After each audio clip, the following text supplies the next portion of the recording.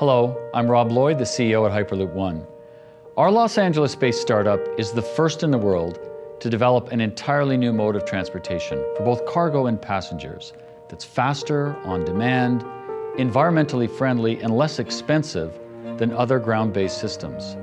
It will transform transportation as we all know it today and create a much more connected world.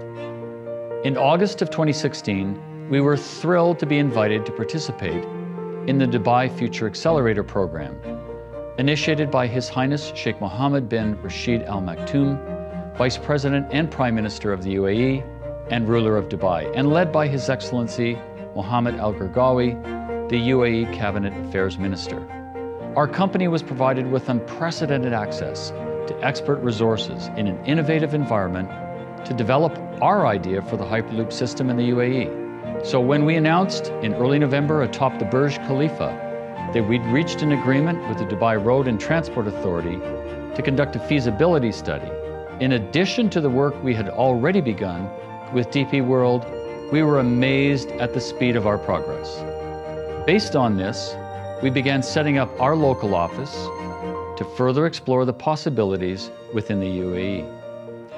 Then in early January, we were fortunate to meet Ambassador Yousef Al Otaiba in Washington, D.C., and his insights led to further meetings in Abu Dhabi with senior leaders at the Department of Municipal Affairs and Transport and at the Mubadala Group.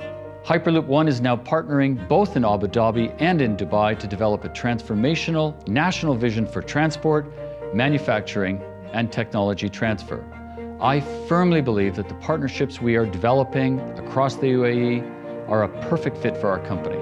And during many of my visits this past year, I've witnessed the visionary leadership that is driving a new nation into the 21st century. Leadership that shares our belief to make what seems to be impossible a reality.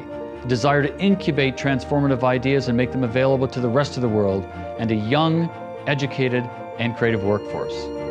It's clear to me that all of the conditions exist, combined with an aspirational mindset to help make the UAE the perfect global launch market for Hyperloop One, a network that removes the barriers of time and distance in the UAE and across the GCC in an unprecedented way.